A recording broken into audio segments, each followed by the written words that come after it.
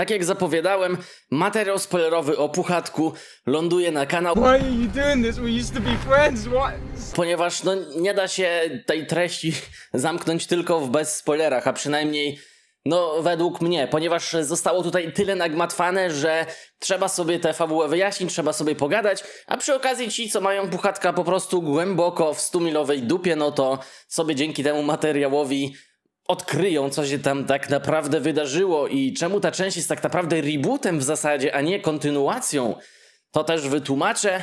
Natomiast traktujcie ten materiał w charakterze czysto takim vlogowym. Mam na myśli, że nie będzie tutaj za specjalnie fragmentów filmu, jedynie urywki zwiastuna, ponieważ film jeszcze nie jest dostępny na VOD, także ciężko skorzystać z materiału, którego nie ma po prostu. Tak więc dzisiaj spoilery, zapraszam.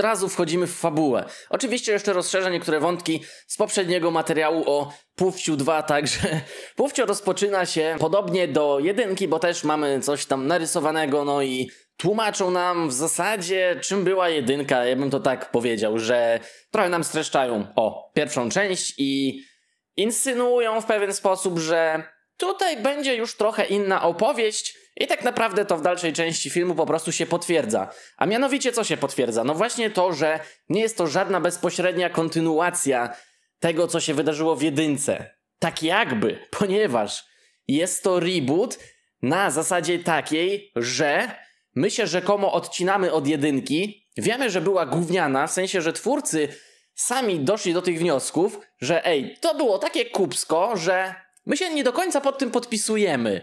Czyli zrobimy właśnie w ten sposób rebootowo. Jeżeli ktoś nie wie, czym jest reboot, to już pokrótce wyjaśniam.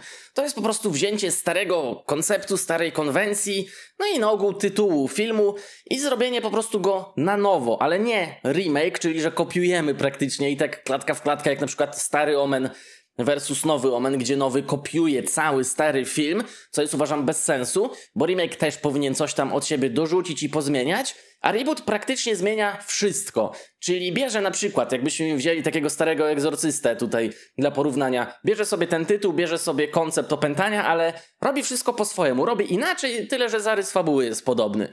No to tutaj twórcy postanowili właśnie w ten sposób zadziałać, czyli w zasadzie to trochę ignorujemy tę jedynkę. Ona była zła, my jej nie chcemy, robimy to na nowo. Ale odnosimy się do niej, poniekąd ciutkę ją wyśmiewając. Dlatego ja w bezspoilerach mówiłem, że taki metakomentarz w Puchatku 2 się pojawia, co mnie zaskoczyło, bo chodzi o to, że historia Krzysia rzeczywiście jest kontynuowana, ale to już jest inny Krzyś, to znaczy też inny aktor. Trzeba wziąć pod uwagę, że zmienili tutaj trochę obsadę, więc jest to inny aktor i też w teorii inna postać, to jest drugi Krzyś, ponieważ tak naprawdę cała historia, która wydarzyła się od pierwszej części, opowiada o tym Krzysiu, który jest tutaj w drugiej części. Mamy tutaj sobie Krzysia, rzeczywiście przydarzyło mu się to, co się przydarzyło, co znamy z pierwszej części, ale to, co tam w niej widzieliśmy, to nie jest ten sam Krzysiu. nie wiem, czy ktokolwiek zrozumiał, kto nie oglądał, co ja tutaj teraz powiedziałem.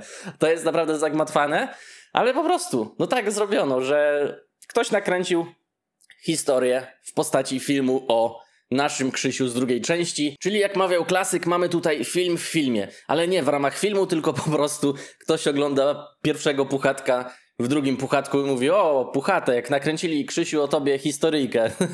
no i tak się to toczy. I tak naprawdę jeszcze wtrącamy tutaj wątek taki, w cudzysłowie nie będzie kryminalny, po prostu takie śledztwo policyjne, które może rozwikłać właśnie zagadkę Christophera naszego, ponieważ no do tych mordów rzeczywiście doszło. Ci ludzie tam zginęli.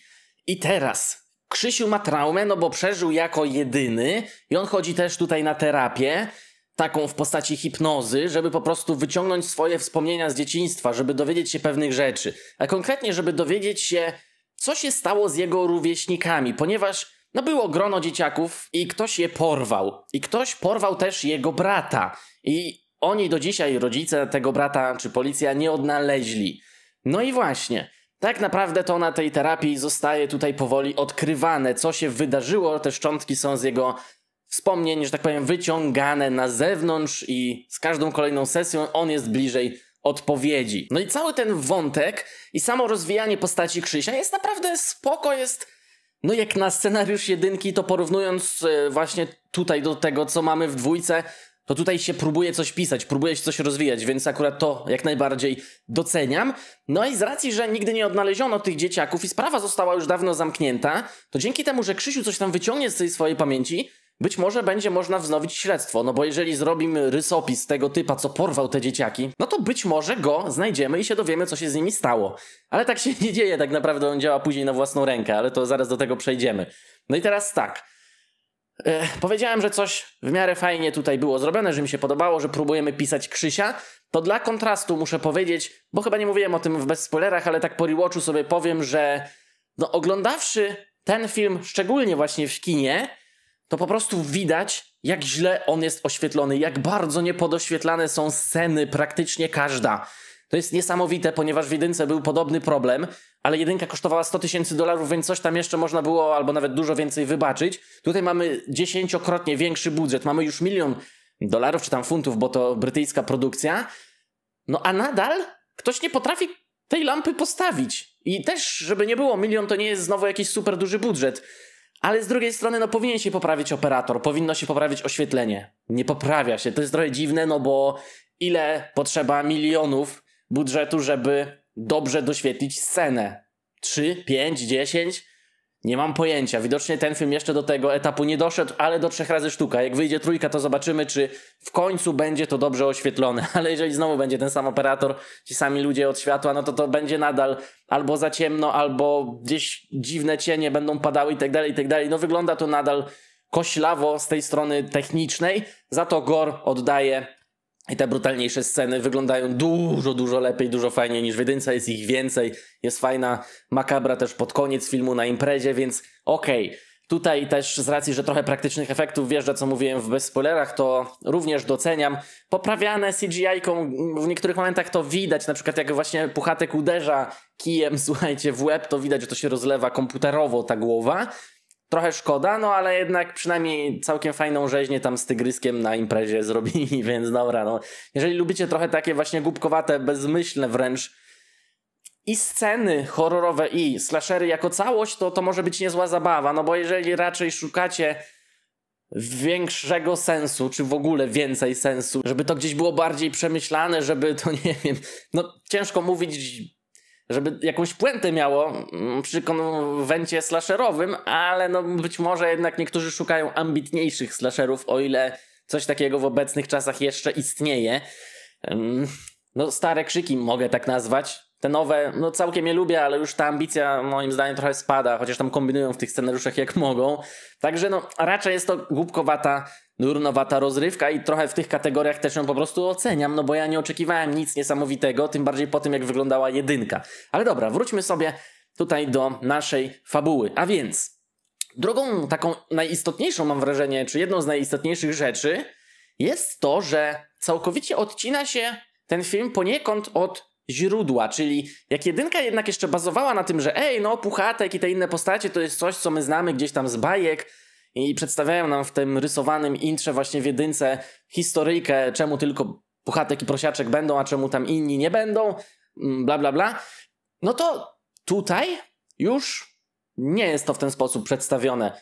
Tutaj też, no z racji, że się zmieniły te kostiumy i tak dalej, Puchatek trochę schudł, przestał miód wpierdalać, teraz trochę bardziej na siłowni siedzi, no to twórcy poszli w inną stronę, a mianowicie w eksperymenty genetyczne, można śmiało powiedzieć, ponieważ to już nie jest tak, że o, był sobie słodki puchatek gdzieś tam w lesie i nie wiem, piorun go trzasnął, zmutował i teraz żre dzieci, bo jest wnerwiony, że Krzysiu go porzucił.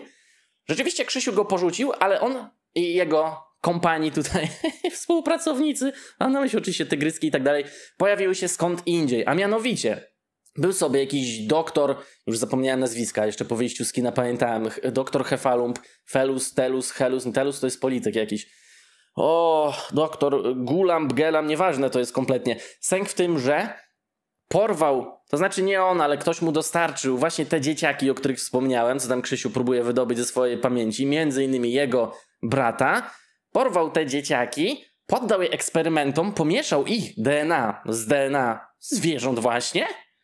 I nie wiem, czemu to miało służyć, bo nie jest wyjaśnione, ale no wymknęło się to spod kontroli. No kto by się spodziewał, że te zwierzęce instynkty zaczną przejmować kontrolę i no nie da się właśnie sprawować pieczy nad tymi potworami, nad tymi monstrami, więc pewnie będą chciały tego doktorka zamordować, a później dalej paść w żądze mordu, więc doktor postanawia, że to on pierwszy ich zamorduje.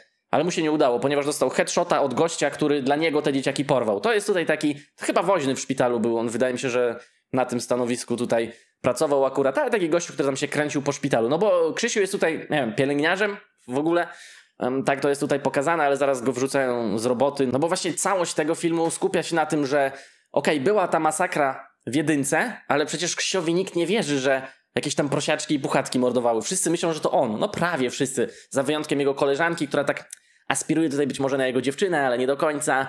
To jest taka laseczka, która jest nianią i ona się zajmuje dzieciakiem, który się nazywa Freddy i łazi w paskowatym sweterku w masce i z maczetą, dosłownie tą maczetą, identyczną co ja mam za 5 zybla, także no, jak widać budżet rzeczywiście wzrósł.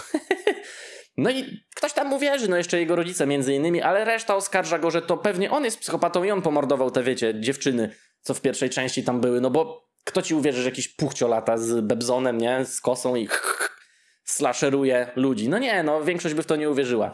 No ale z racji, że to śledztwo można wznowić, to próbuje się tam właśnie udowodnić, a w sumie to Krzysiu głównie próbuje, że ej, rzeczywiście ktoś tam czy coś tam, jakieś monstra istnieją, to nie ja, no i poniekąd jakiś gościu poddany, że tak powiem, masakrze, obróbce przez puchcia i sowę i prosiaczka przeżywa, chociaż e, miał nie przeżyć. No i leży w szpitalu i właśnie mm, w pewien sposób, bo pisze akurat, a nie mówi, Krzysiowi, że miałeś rację, rzeczywiście te monstra istnieją i tam coraz więcej ludzi się dowiaduje o tym rzeczywiście, no i dzięki temu Krzysiu może coś z tym zrobić, ale policja nie bardzo nadal może. Dlaczego? Bo jak jakikolwiek policjant się tu pojawia, to zaraz zostaje zaszlachtowany przez prosiaczka. Nie, przepraszam, przez prosiaczka nie, przez puchatka bądźcowe. No właśnie, no bo a propos prosiaczka, od razu do tego przejdę.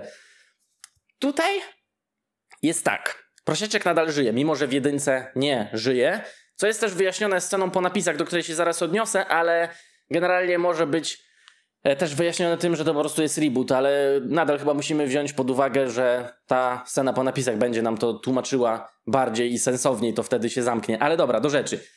W pierwszej części, jak złaby nie była, to jednak scena z prosiaczkiem, jedna przynajmniej z nich, mnie bardzo rozbawiła, bo on tam popierdalał na orbitreku, słuchajcie, czy tam na rowerku i generował zasilanie jak na dynamo, kiedyś w rowerach mówiłem o tym w recenzji jedynki. Ja nie, nie pojęcia, po co to tam było, ale to było śmieszne z jakichś przyczyn, takie to było wręcz absurdalne, po prostu, że, że aż bekowe. I, I właśnie z tego się chociaż pośmiałem. Później on tam trochę latał po tym filmie, kogoś pomordował, ktoś zamordował niby jego, ale widzimy, że przeżył, więc albo za słabo dostał w łeb, albo jak się dowiadujemy w scenie, w napisach, po napisach, to sowa go zrespiła. Zaraz jeszcze to wytłumaczę. Ale jak tam w jedynce był trochę czasu ten prosiaczek, to tutaj on wychodzi na minutę do lasu, polują na prosiaczka właśnie i na całe te towarzystwo jakieś typy z shotgunami, bo wiedzą, że coś tutaj się dzieje. Oni akurat wierzą, bo tam jednego chyba siostra czy ktoś zaginęła i wybiegają na konfrontację z towarzystwem.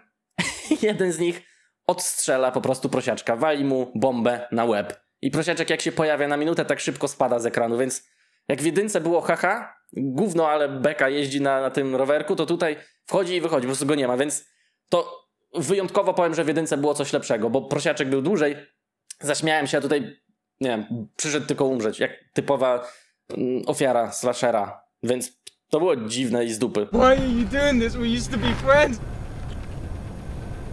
Please. No i dobra, jak już Krzysiu namierza tego gościa, który rzekomo porwał jego brata, to mu grozi i mówi zaracie za jumam gościu, czy ty porwałeś mi brata? W sumie to tak, porwałeś już, ja to wiem.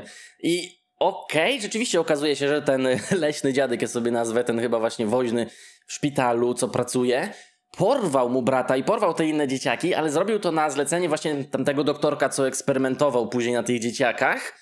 No i Krzysiu w sumie nic mu nie robi za to, ponieważ ten sam się odstrzeliwuje tuż po tym, jak opowiedział wszystko Krzysiowi. Trochę mu ulżyło, więc sobie odstrzelił łeb. No tak. no dobra, okej. Okay. Ale długo tam gadał z Krzysiem, wyłożył mu wszystko kawa na ławę. No i Krzysiu wtedy zdaje sobie sprawę, że no właśnie te puchatki i inne, one nie są miłymi puchatkami, które stały się złe, bo coś tam, coś tam, tylko doktor te dzieciaki wręcz zamienił w te potwory. I co najśmieszniejsze, samym właśnie puchatkiem, czyli esencjonalną postacią przecież tego filmu, jest brat Krzysia, Billy.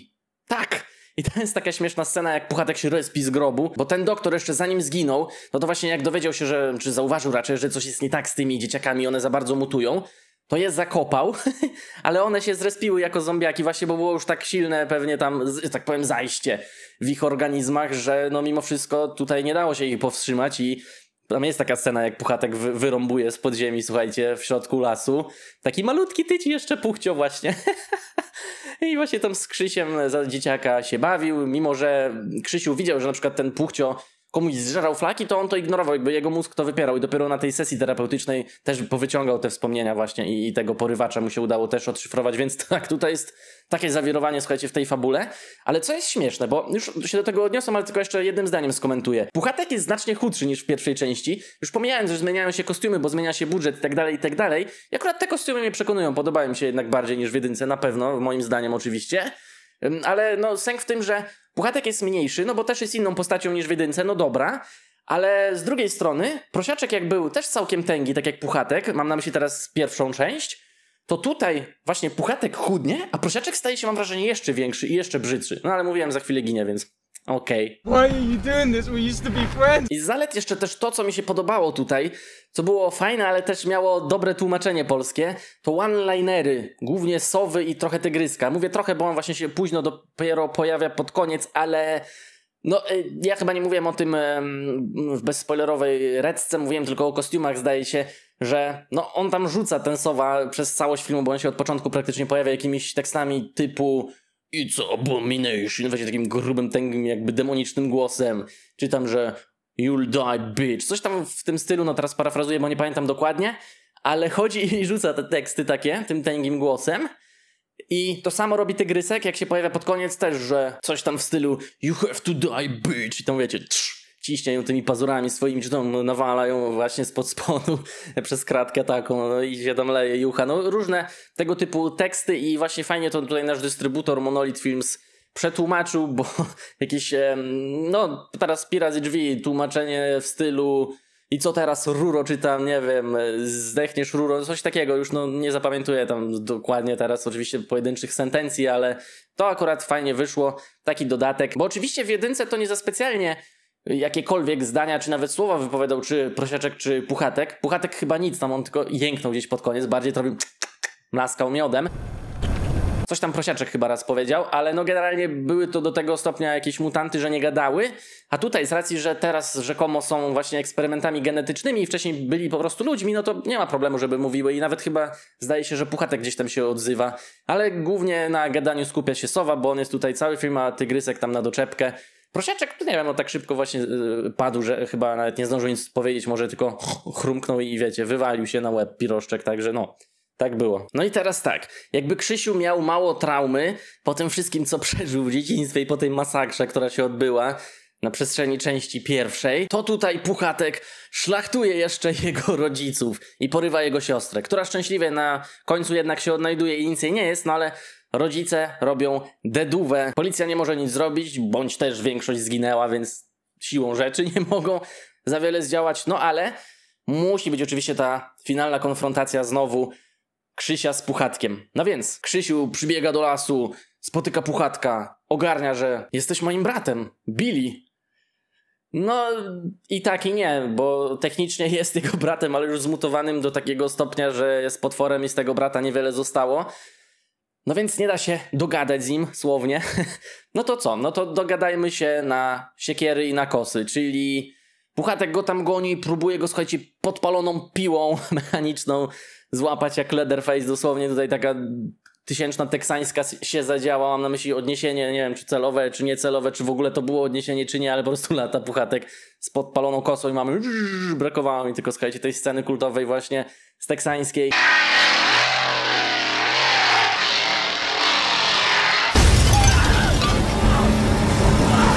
No nie udaje mu się jednak pokonać Krzysia. Dociera jeszcze ta opiekunka, ta no nie dziewczyna, powiedzmy przyjaciółka Krzysia, na pomoc i prawie by zginęła od tej piły, ale w ostatnim momencie Krzysiu podbiega do Puchatka i siekierą w łeb. I Puchatkowi roztrzaskuje łeb. I ten upada. I teoretycznie by nie przeżył. Ta część rzeczywiście wywaliłaby Puchatka z kapci na amen. Ale wiadomo, że nie może tak być, bo chcą kręcić dalej i bo już to robią. No więc właśnie tutaj przychodzi scena po napisach. Jak będziecie oglądać, dopiero to ona jest bardzo szybko, zaraz po tam e, reżyser, scenarzysta, bla bla bla, nie trzeba czekać tam 5 minut czy coś, także od razu wlatuje i co tam się dzieje? Dzieje się mianowicie to, że pan Sowa jest tutaj wielkim mastermindem, który reperuje wręcz swoich kompanów, czyli okej, okay, może i Puchatek dostał siekierą w łeb i teoretycznie nie przeżywa, ale nie ma problemu, szefunciu, naprawimy go. Po prostu to jest władca miodu, ja bym powiedział, bo nie miodem, znaczy no on miodem tam reperuje, słuchajcie. A w zasadzie to będzie reperował. I Puchatka i na pewno Prosiaczka też naprawi, także tak jak zapowiada właśnie swoim kolejnym punchem Sowa, wrócimy po ciebie Krzysiu wszyscy w kupie znowu, także wydaje mi się, że ilekroć będą ginęły te postacie typu Sowa, Puchatek, Tygrysek, chociaż Tygrysek tutaj nic mu się nie dzieje, nie ginie, ale ma fajną scenę, gdzie tam nawala pazurami, podobała mi się, to po prostu tylekroć będą wracać, ile dostaniemy części kolejnych. No bo jeżeli cały czas można je respić, to nie wiem, trzeba byłoby chyba pocinać wszystkie kończyny i zmielić, jak słuchajcie, Majersa w Halloween Ends, no bo innej opcji nie widzę, żeby to yy, zdechło, nie? Także nie wiem, ile jeszcze tego dostaniemy, ile w tym puniwersum całym się pojawi produkcji, no ale Zobaczymy. Także to w sumie w tej scenie nic więcej nie ma. Wiemy, że przeżyją i tyle, nieważne jakie, jaki damage im wcześniej zadało. Why are you doing this? Także w porównaniu do jedynki, to jest tutaj mnóstwo rzeczy tak naprawdę w tej fabule i w tym scenariuszu. On oczywiście nie jest jakiś niesamowity, jest to dosyć jednak schematyczna i mimo wszystko tak um, konwencjonalnie prosta produkcja slasherowa, ale rzeczywiście z racji, że ten reżyser i zarazem scenarzysta wziął sobie drugiego ziomka do pomocy, do pisania scenariusza, no to Tutaj przynajmniej widać jakąś próbę, że jest dużo bardziej to rozpisane niż tak jak było w jedynce, że typowy tandetny slasher, ale już taki kompletnie bez fabuły, czyli przychodzą, giną, odchodzą i koniec i Final Boy Krzyś, a nie Final Girl właśnie w tamtym wypadku. Tam się po prostu nic nie wydarzyło. Udało się to, słuchajcie, zamknąć w kilku zdaniach. Mimo, że robiłem spoilery, to trochę długo wyszło, ale to bardziej opowiadałem. Po prostu co się działo po kolei. A tutaj jednak jest coś konkretnego, także jest na przyszłość jeszcze sporo kontentu tutaj do eksplorowania i właśnie do wyciągania kolejnych części i pewnie kolejnych złotówek z naszych portfelów, ażeby te uniwersum sobie dalej zarabiało. Zobaczymy, co to będzie, kiedy wyjdzie trójka, ale myślę, że max w 25, jeżeli już tam się prace rozpoczęły, to pewnie będzie dosyć szybko. Także Dajcie znać, co sądzicie w ogóle o Puchatku 2, jeżeli oglądaliście. Dajcie znać też o rzeczach, których ewentualnie tutaj nie poruszyłem, bo na pewno jakieś tam jeszcze drobnostki, może coś większego pominąłem, chociaż chyba nie, mam nadzieję przynajmniej. W razie czego uzupełniajcie pod spodem i dajcie znać ewentualnie, która ze scen wam się tutaj najbardziej podobała, bo mi chyba właśnie ta masakra na imprezie, gdzie wbija tygrysek, a właśnie w jedynce zawalający na rowerku prosiaczek. To zdecydowanie tutaj jest dla mnie e, te dwie sceny bym wybrał właśnie. Także Czekam na wasze spostrzeżenia i kto was dotrwał do końca tego materiału, dajcie hashtag dzisiaj 100 milowa rzeźnia. O, tak sobie wymyśliłem. Widzimy się w kolejnych. Dajcie znać, co sądzicie i do zobaczenia. Napiszcie też, czy czekacie właśnie na trójkę i tutaj też, e, o, jeszcze to tylko dodam, jest taka wstawka, że pojawi się właśnie horror o Bambim. To znaczy my już wiemy doskonale, że on się pojawi, bo to już było zapowiadane, ale tam się pojawia jakiś artykuł, gdzie Krzysiu coś tam researchuje i jest napisane, przynajmniej w polskim tłumaczeniu tak było, E, nie wczytałem się, jak tam było na ekranie w oryginale, ale że zombie reniferek, że tam jakiejś wody się napił i właśnie stał się zombie reniferkiem, a nie zwykłym. Także tak, reniferek, ten serial z Netflixa mi się aż przypomniał, co ostatnio mówiłem. Nieważne. Trzymajcie się. Do zobaczenia. Why are you doing this? We used to be friends. What?